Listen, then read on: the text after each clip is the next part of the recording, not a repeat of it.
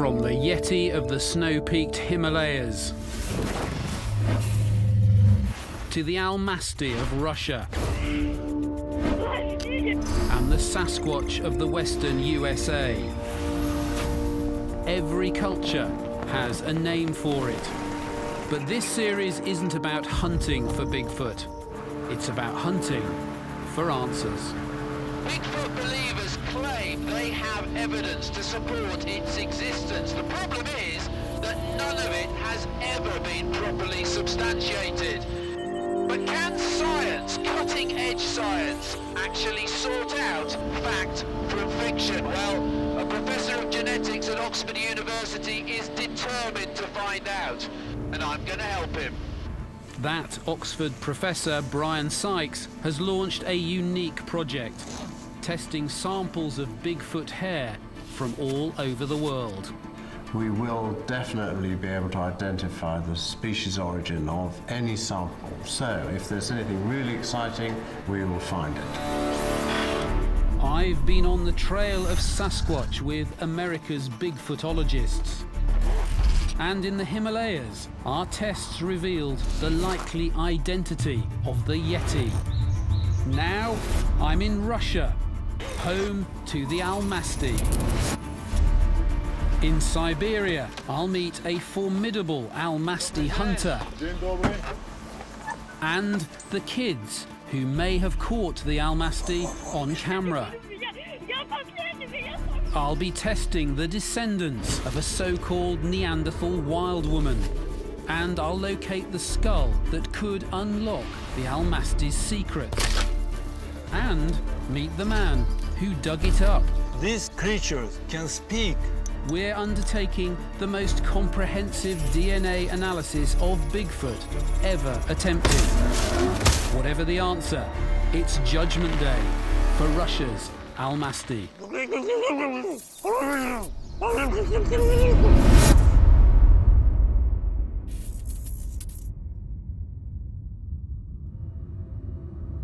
Nearly 6,000 miles from east to west, spanning nine time zones. Russia is the largest country on the planet. Hard to imagine a more perfect habitat for the Russian Bigfoot. There are plenty of theories about Bigfoot. For many believers, they're giant apes of some sort, but unknown to science. The skeptics, on the other hand, point towards misidentifications, and bears are top of the list. And of course, the whole Bigfoot thing could be a series of elaborate hoaxes. But here in Russia, they're convinced by what is arguably the most fascinating and outlandish of theories. And that's that the Russian Almasties are 21st century survivors of one or more of our ancient human-like relatives, possibly even surviving Neanderthals. And they're equally convinced they've got the evidence to prove it. Over the last 300 years, there have been thousands of sightings, from the Caucasus to the Volga, from the Urals to central and eastern Siberia, and the frozen Arctic North. Almasty translates as wild man. It is human-like, five to seven feet tall, two to four hundred pounds in weight, hairy, from red to beige, brown to black. But hard evidence remains as elusive as ever. Now a top scientist is taking it on. Oxford University's Professor Brian Sykes is one of the world's leading geneticists. In 2012, he launched the most ambitious Bigfoot DNA study ever seen and is testing so-called Almasty hairs from all over Russia. It's only in very recent years that technology's come on enough to do this project properly. I think it's fair to say that no serious scientist has looked into this field for the last 50 years.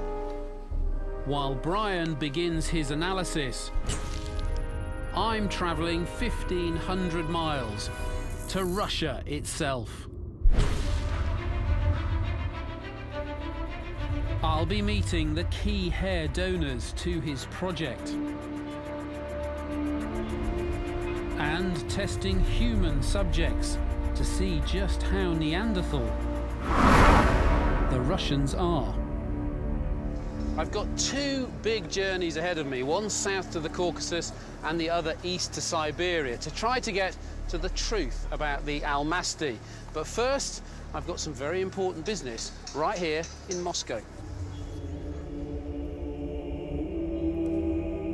I'm on my way to the monthly meeting of the world's longest running Bigfoot group, Moscow's Relic Hominoid Society. The group's veterans are en route too. Between them, Igor Burtsev, Dmitry Bayanov, and Michael Trachtengertz have clocked up 130 years worth of Almasty hunting. The group always meets at Moscow's Darwin Museum of Evolution, an appropriate location given their enthusiasm for the Almasty Neanderthal theory. The idea was developed 50 years ago by Professor Boris Porshnev, who did much of his work in the Caucasus in southern Russia, a place rich in Neanderthal finds. Porshnev died without proving his theory, but his followers are full of hope for Brian's project. I'm just hopeful that his genetic findings will confirm, uh, will support the existence of these creatures. I think that there are hundreds of such creatures on the territory of uh, uh, former USSR.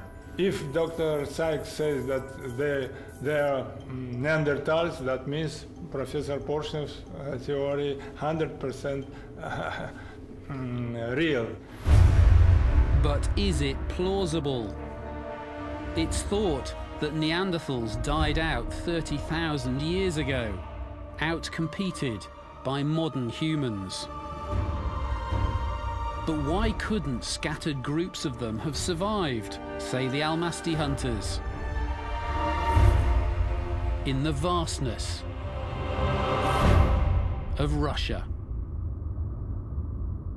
I'm intrigued by what evidence they've got to support what is a pretty bold claim, and particularly what physical evidence they've got that Brian and I can test. To find out, I'm travelling a thousand miles south to the Caucasus, where Porshnev developed his Neanderthal theory. But my destination, Abkhazia, is far from easy to get into.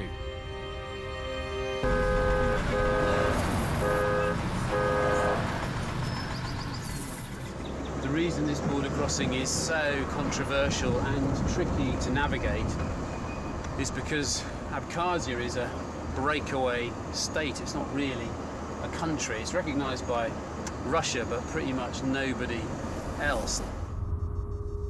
Abkhazia is officially part of the Republic of Georgia, but declared its independence in 1992.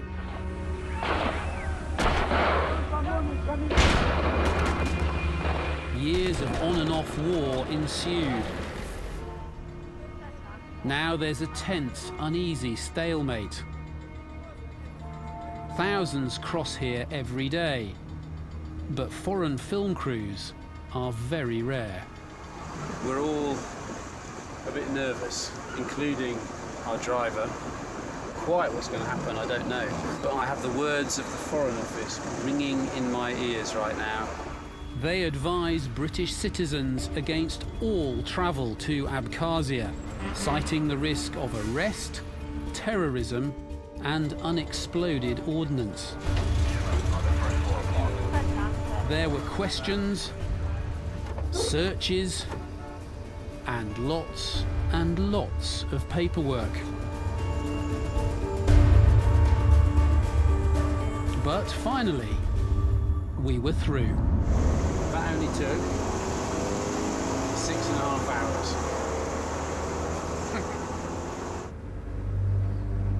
I'm here to investigate the most high-profile story in Russian Bigfootology, the tale of Zana, the so-called wild woman of the Caucasus. For Almasty hunters, it is the big story.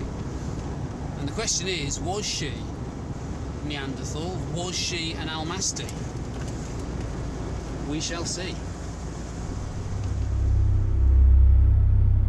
The story begins, it's said, in the remote forests of Abkhazia, sometime in the 1870s. Two men are chasing down a wild, hairy creature, perhaps half animal, half human.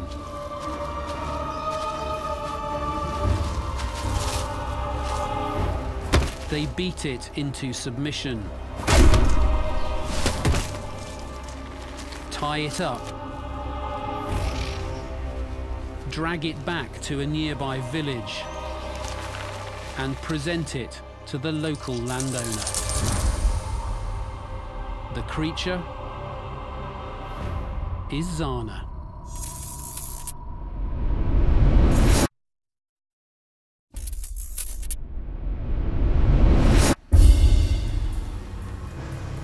I'm on the trail of Zana, with one of Russia's younger Almasty hunters, Dmitry Perkolov. The story began in the 70s of the 19th century. A former engineer turned film producer, he's been obsessed with the story for many years. Zana the wild woman, caught in an area rich in Neanderthal archaeology, is said to have died in the 1890s. The pioneers of Russian Bigfootology, Porshnev and others, first heard of Zana in the early 1960s when locals told them the tale. Her wildness and the Neanderthal associations of the area seemed to fit the Almasty Neanderthal theory perfectly. Over the last 50 years, the story has grown into one of the most celebrated in global Bigfootology. But the truth about Zana's identity remains unresolved. Dimitri's taking me to Tikhina, where she's said to have been imprisoned by the local landowner in the 1870s. The ghostly village is half abandoned. At its heart, where her jailer's house probably stood, is the old Communist Party headquarters. Is this derelict now? Can we have a look yes, inside? Yes, you can go inside. Yeah. Wow, look at that. We've got Karl Marx. Yes. Engels, Friedrich Engels, Lenin, and Stalin. Wow. For many Abkhazians, the days of the old USSR are seen as a time of turmoil. And it wasn't much different in Zana's day. The Muslim Ottoman Empire controlled Abkhazia for centuries. Then the Russians took them on, seizing the place not long before Zana's capture. The Russian Empire itself was hardly stable though. After five previous attempts on his life, the Tsar was killed by a bomb in 1881. It gives a bit of context to this dark, troubling tale of Zana's years of imprisonment in this somewhat lawless place. But the real shock was still to come. Dmitri told me that during the 20 or so years she's said to have spent here, Zana had four children. I mean, I assume this was rape. Was it? I mean, uh, she, she, wouldn't have consented. Uh, perhaps, perhaps, but it was a part of Caucasus. It was a pretty wild territory, probably because uh, they were also crazy. Nobody knows. But we absolutely know that she had children from so local... That is, that is yes, definite. that is definitely, yeah. Absolutely the case. Dr. Igor Burtsev, one of the three wise men of Russian Almasty hunting, and a highly respected figure in international Bigfootology, has been working on the Zana story for 40 years and paints a dark picture of how the landowner, Edgi Genaba, might have orchestrated all this. Some people arrange some parties uh, with drinking, with uh, joking between men, and they are mm, uh, just uh, playing. Uh, and sometimes this Genaba offered this woman. That is why some local men had mm, sex with her. Descriptions of Zana, Dmitri told me, came from elderly eyewitnesses who remembered her from when they were young. I mean, she used to come down then from... And were interviewed by researchers like Burtsev. When I was there in 1971, I met with one uh, eyewitness of Zana. He remembered her when he was an eight-year-old uh, boy. He saw her. Zana was very big, strong. All her body was uh, covered with hairs, a short neck, very protruding jaw. She was a wild woman. But what kind of wild woman? A surviving Neanderthal? Another hominid? Or an unfortunate, abused human. Brian hopes to unlock the secrets of her identity through the DNA of her descendants. The Almasty hunters have spent years tracking them down and producing an extraordinary document. Zana's family tree. Igor Burtsev started to do this maybe 40 years ago and uh, I continued. Right now, we spent about five years only to check all the sentences. I mean, there's a huge amount of information on here. So, what, what are the highlights? We absolutely knew that she had four children two daughters and two sons. The oldest one, Jonda, and the youngest was Sweet. Taking the baton from Igor Burtsev, Dmitri has spent half a decade tracking down more of Zana's descendants. The results were interesting that some of them didn't have any idea about their relations. It was really nice for them to, to know who they are. You've put so much effort into this over such a long time. It begs the question, why? What's, what's the fascination for you personally? Uh, you, you, know, the first time I heard about this story when I was a little boy, because I was uh, born in Georgia, in Tbilisi, not far from here, and we knew about this story. And uh, through this tree, we can find out our roots, you know, uh, making DNA tests and uh, scientifically prove the theory of modern Neanderthal or wild man or anything else. So, so across the whole world, in terms of cryptozoology and the fascination with Bigfoot, Zana is the key character. Right. That's, right. That's, that's and, incredible. And the closest, the closest way to uh, prove our theory. Three months ago, Dmitri collected saliva samples from four of Zana's relatives and sent them off to Brian. Zana's history can be read in their DNA, and the analysis is underway. Now Dimitri's located another two descendants who are happy to be tested. First up, Rodion, Zana's great-great-grandson. Like so many Abkhazians, Rodion bears the scars of the recent past. He lost an eye in the war with Georgia, and he lost his son too.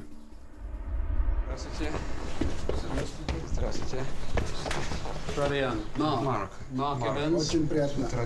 Thank, thank you for inviting us into your Спасибо house. за приглашение к ваш дом зайти.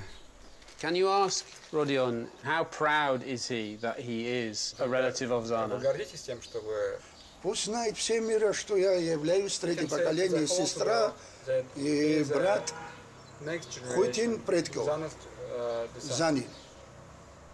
Почему я должен стесняться?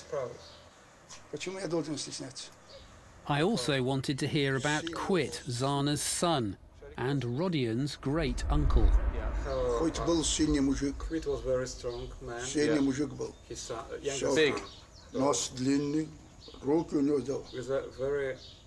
Метров пять-шесть, свадьба. Он вот так подошел, вот так, зубами. Вот так зубами. Он танцевал. With his teeth. Да. Li so li the table here, and you go. And dance, yes, and dance. And Metro dance. Piat.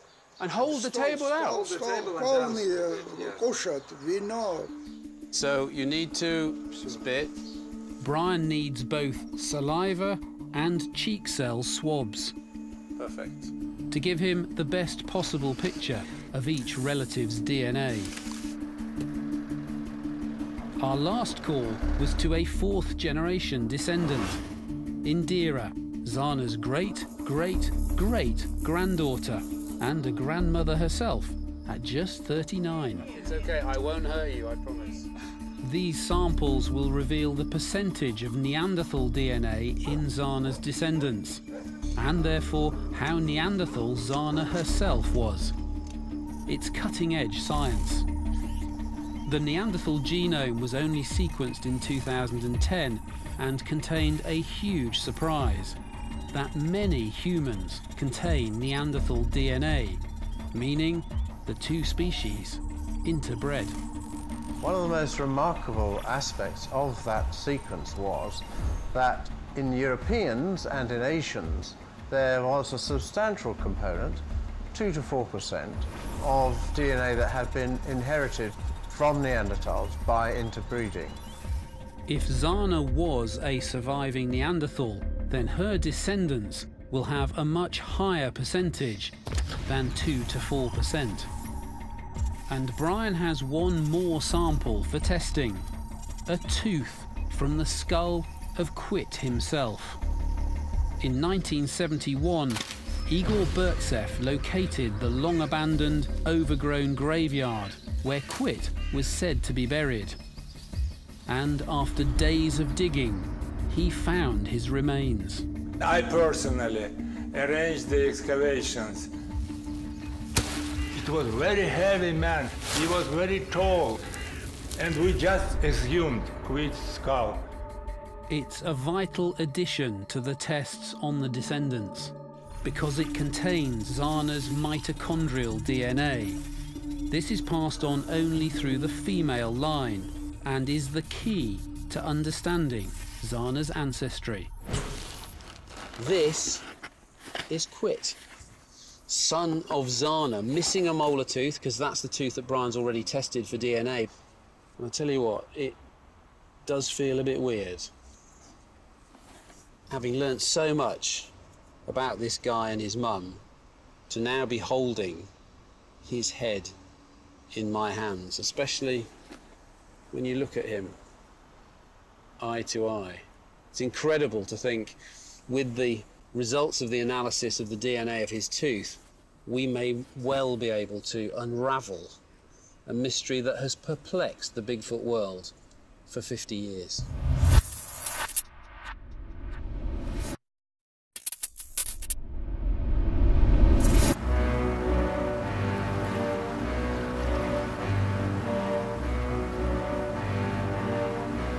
On the last leg of my journey, travelling 2,000 miles east to Siberia.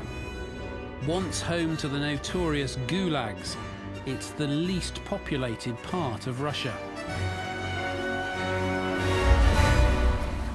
Here, the population density is just eight human beings per square mile. In Britain, it's 660. And with that in mind, it's perhaps easier to believe that there could be creatures unknown to science living out here, possibly even surviving Neanderthals. Western Siberia is said to be Russia's Almasty hotspot, though here they call it Yeti or Snowman. I'm heading towards the little town of Tashtagol to meet up with Dr. Igor Burtsev, Russia's foremost Almasty hunter. And they come here only in summertime. He has high hopes for the Siberian hair samples that he sent to Brian. And we're off to see the family who gave them to him. The Kungashevs are from the Shors tribe, native Siberians who were here long before the Russians came And near their cabin in the woods in the winter of 2011, they found something remarkable. Идем и довольно счастливые. Заряжаемся вот этой энергией нашей природы. Снег белоснежный лежит, а мой супруг Юрий идет и смотрит. Я, за, я самый последний шел, сзади шел. Я вот шел и думал, чтобы детям ну, показать вот, мал, маленькие следы, там, возможно, зайцев, возможно, мышей. Там лис, лиса вот у нас здесь вот следы нет-нет да попадаются. И вдруг он говорит, смотрите, что за следы идут. Вначале думали, это медведь. Медведь, когда идет, у него когти торчат, они не прячутся, и он землю выковыривает. И Юра говорит, нет, это не медведь. Все, они раз быстренько подошли сюда. И вот старшая дочь, она взяла телефон у матери и говорит, давай снимать, и кричит, вот следы едьте, следы едьте, следы едьте. Ужасно, какие большие шаги. Нифига человеческий, вот так. Вот. И мы стали следовать этим следам. Но это было жутко, жутко было страшно. Сразу же мурашки по телу, как говорится, волосы дыбом стали. Девочки, конечно, говорят, мама, я боюсь. Страшно, мы идем обратно. А медведь? Да не страшно, нет, это не медведь. Были необычные следы, но потом, когда мама с папой сказали, что ну, страшно за нас стало, мне тоже страшно стало. Ну, нам всем стало страшно.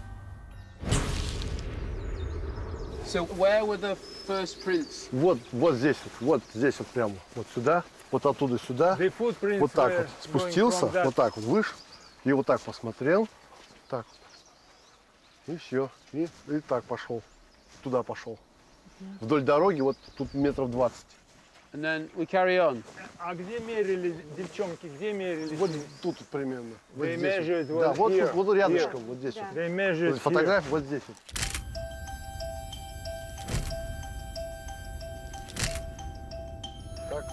So from here. So from there to there, that was the total size of the print. Mm-hmm. Okay. Yeah, let's go. The Kungashevs followed the giant 14-inch tracks as far as the river, which the creature seemed to have leapt in one bound. He hops to that. На две ноги прыгнул. Да. Да? На две ноги прыгнул там. So where did you find the hair? Там вот здесь, вот рядышком совсем, да. здесь метров, наверное, 30 40. Мы же ходили, помните? Yes. Four of those hairs have gone to Brian for testing, and the Kungashev's hopes are high. Мы надеемся, вот, на вас, вот, в частности, надеемся, чтобы, чтобы, ну, как вам сказать, чтобы наша семья надеется на то, что действительно вот это, эти шерстинки волос принадлежат этому существу, снежному человеку. Вот. I wanted to get a clearer picture of this creature. Burtsev told me that he'd never seen one himself, but that he'd learned a lot from the thousands of witnesses he had interviewed. The main difference between man and animal is speech. These uh, creatures can speak and even can understand uh, speech of humans. Just their speech is more quick than humans.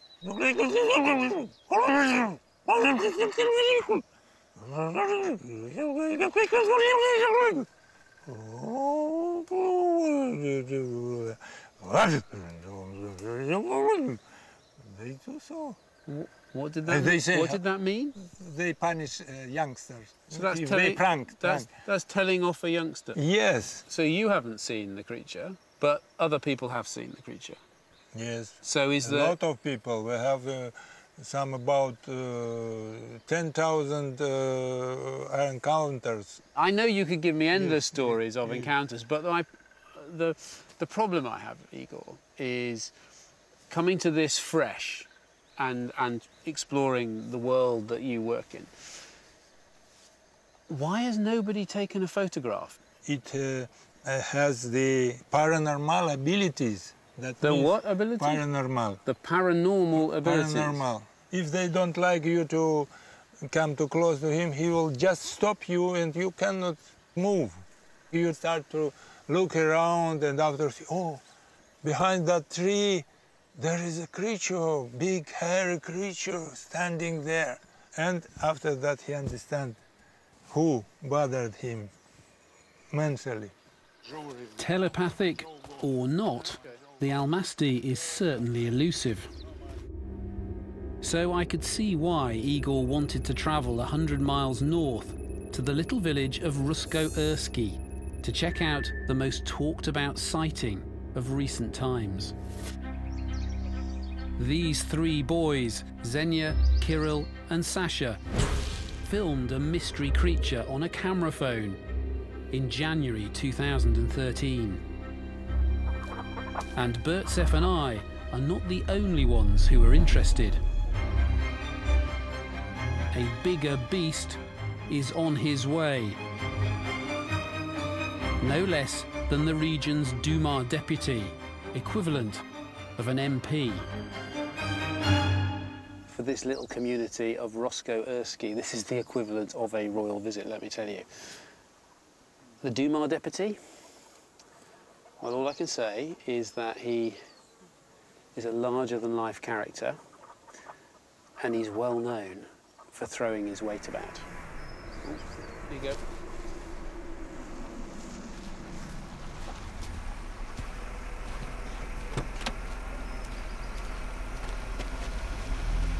Добрый день. День добрый. Здравствуйте, Игорь. Добрый день, Mark, Nikolai. Николай, очень Mark, приятно. Good to see you. Я тоже очень рад вас видеть. This is good. Can we take a look Yes, now? Yeah, is yes. that okay? Да, we, we пойдем. follow you in. Yeah. Once known as the Beast from the East, Nikolai Valuev is a former heavyweight boxing champion of the world.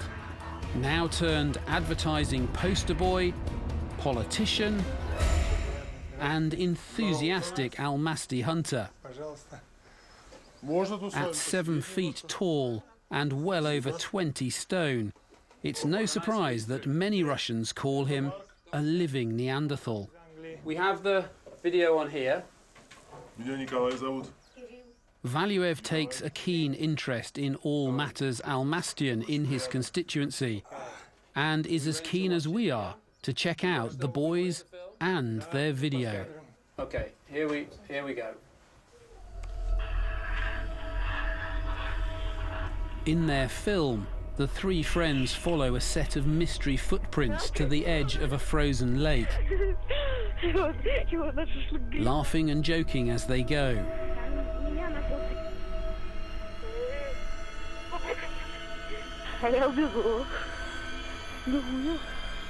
And then they see something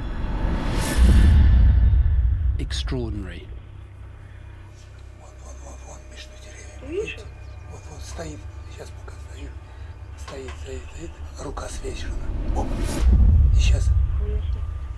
A tall, dark, hairy figure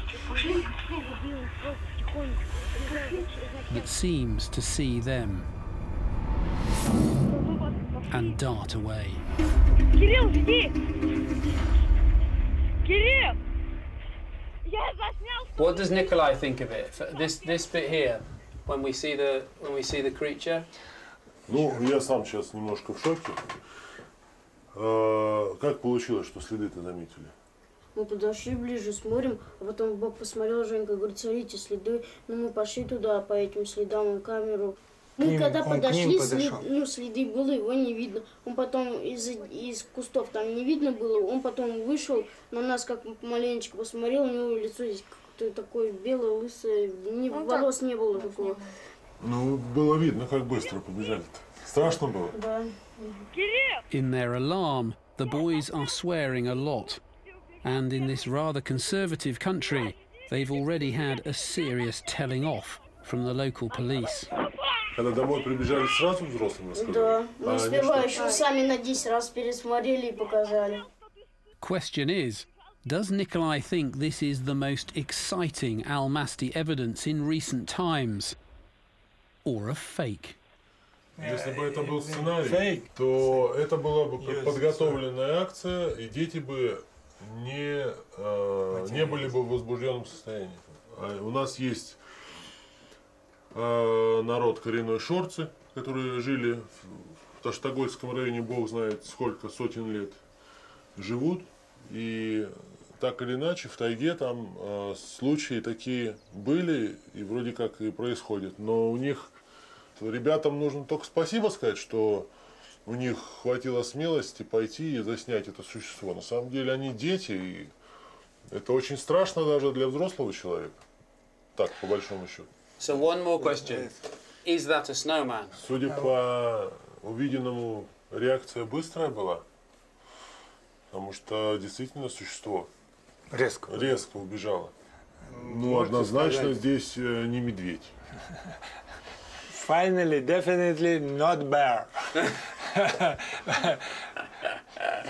Спасибо вам за вашу смелость. Спасибо. Держите руки. Спасибо. Ну и давайте так, мы договариваемся, да, вы больше не ругаетесь. Обещаете? Книжки будете читать, Да. чтобы не ругаться никогда. Приеду, проверю. Молодцы. Nikolai seemed convinced by the video, and if it is a fake, it's a pretty good one carried out by three young kids in the back of Beyond.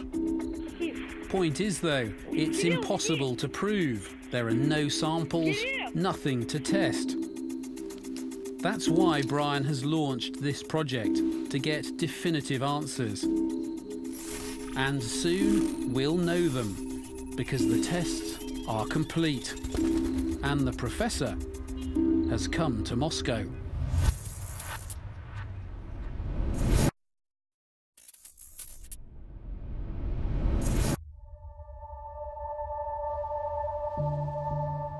It's results day. The professor and I, the three wise men, and their young disciple Perkolov are all converging on the Darwin Museum. You have all in your different ways been extremely helpful to this project. The project would get nowhere if people like yourselves didn't donate samples. So thank you very much indeed. First up was Michael Trachtengertz, who'd given Brian four of the most promising samples from the archives of the Society, some of them over 40 years old. Two of them proved to be horse, one cow, and the fourth wasn't hair at all, but a piece of glass fibre. Next, it was the Kungashev's hair, that High Hopes sample from Tashtagol. Brian's tests revealed that it was a brown bear. Burtsev didn't take it lying down. I don't believe. It. You don't believe it? None. Why not? Because I was not sure that they, are, uh, they were of Kungashevs. Because uh, I had a lot of samples and they could be mixed. I could sense Burtsev's tension, and everyone else's too, as we approached the last and biggest question of this Russian journey Zana. Brian, of course, had tested Quit's tooth, as well as the six sets of saliva and swabs from Zana's descendants. Would the 50 year old Porshnev Neanderthal theory be borne out or thrown out? The results from the Neanderthal DNA test were that all of the six descendants of Zana had the same amount of Neanderthal DNA as everybody else, about 2.8%. So we can say without uh, fear of contradiction that Zana was not a Neanderthal. It's a definitive answer. The faces in the room were impassive, hard to read. But the big news was yet to come.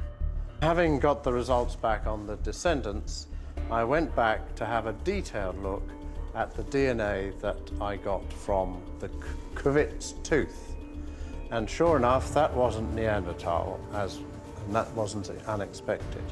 But what was unexpected was that when I looked at the detail of her mitochondrial DNA, it was sub-Saharan Africa. Oh. Sub-Saharan African. It makes sense now. So, Though Perkolov says it all makes sense, it's an extraordinary result. Burtsev looked pensive, as Brian explained that the DNA from Quit's tooth showed definitively that his mother Zana's maternal ancestry was sub-Saharan African. That means south of the Sahara, black African. But what did the DNA of her living descendants show? So then I thought, in that case, perhaps I can find African DNA in the descendants. All of them have got sub-Saharan African DNA in their genomes in about the right proportions that you would expect from the results. Zana was 100% sub-Saharan African. What's the explanation? All the possibilities are uncomfortable, given what happened to Zana. Likeliest is that she or her forebears were brought from Africa to Abkhazia as slaves, when it was part of the slave-trading Ottoman Empire, to work as servants or labourers. The Russians ended slavery when they took over, but the writer Maxim Gorky visited Abkhazia in the 1920s and wrote that there were still Africans living there. Was Zana an African who'd stayed behind? Was she kidnapped? Or was she really living wild in the mountains? When Brian and I discussed it, we both agreed that the slave theory, however uncomfortable, was the most likely solution. But Brian had spent some of the night before carefully examining Quit's skull and noticed some unusual features. Very wide eye sockets and an elevated brow ridge that could suggest ancient as opposed to modern human origins. And he was starting to toy with a thought-provoking alternative notion. Maybe she isn't an African of recent origin at all, but one from a migration out of Africa many thousands, perhaps tens of thousands of years ago, and that she comes from a relic population um, taking refuge in the Caucasus Mountains. Whichever explanation is the right one, and maybe there are some we haven't thought of, um, they're all going to be pretty unlikely, but they must be true somewhere. There must be an explanation for that 100% African DNA in Zana herself. It's a radical thought, but it strikes a chord with Dr. Burtsev, who recalls the excitement of a Moscow anthropologist when he first showed him Quit's skull several years ago. When he saw that skull, he was just astonished. There is an association of a very uh, primitive uh, features of this on this skull and very progressive features. This mix of primitive and modern features is intriguing. But could Zana really have been a relic of an unknown branch of Homo sapiens from an early migration out of Africa? It's possible, but unlikely. If it were true, though, then the Almasty hunters, from Porshnev to the present, would have been right all along about a surviving, unknown hominid living in the wilds of Russia. And what about Zana herself? Maybe she was wild, hairy and strong, Or did her appearance get embellished into a kind of folklore of a monster by guilty villagers who knew that a terrible wrong had been done? I now find myself thinking a lot about Zana and what she went through as a human being. And it's pretty dark stuff, even for Abkhazia in the 1800s. But it is an answer, even if it's an uncomfortable one. And that's the whole point of this project. We've wanted to use science to get to the truth. And finding out who Zana was is a massive result. I'm reflecting back too on this whole journey. From Everest Base Camp in Nepal to Brutus the Bear and the Shipton footprint and the amazing DNA result that suggested a likely solution to the Yeti question. To the USA, where the will to believe seems to drive the world of Bigfootology. And back to my very first meeting with Brian, when I asked what drew him to the murky world of Bigfoot. I'm really doing it because I'm curious. I want to know the answer, and that should be the basis for any scientific investigation. That curiosity, that wish to know, has really paid off.